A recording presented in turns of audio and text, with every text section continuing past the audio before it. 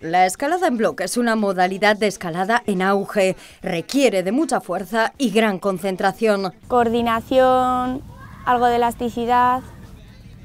Fuerza de dedos, sobre todo. Ellos lo saben bien. Mario y Carlota son estudiantes del grado en educación primaria y acaban de representar por segunda vez a la UR en el Campeonato de España Universitario de Escalada en Bloque. Mario ha quedado tercero, Carlota séptima. Insisten, lo mejor, disfrutar de una experiencia única. Ver un bloque que no habías visto antes con presas totalmente nuevas y súper raras entonces era un poco pasarlo bien y a la vez decir, bueno, a ver si pasamos a la final. La escalada es solo una de las numerosas disciplinas en las que la UR va a tener representación este año. Como Carlota y Mario, en torno a 50 deportistas del campus van a tomar parte en distintas modalidades. La universidad, su función para mí es fomentar el deporte y luego si se consiguen resultados, pues bueno, mejor.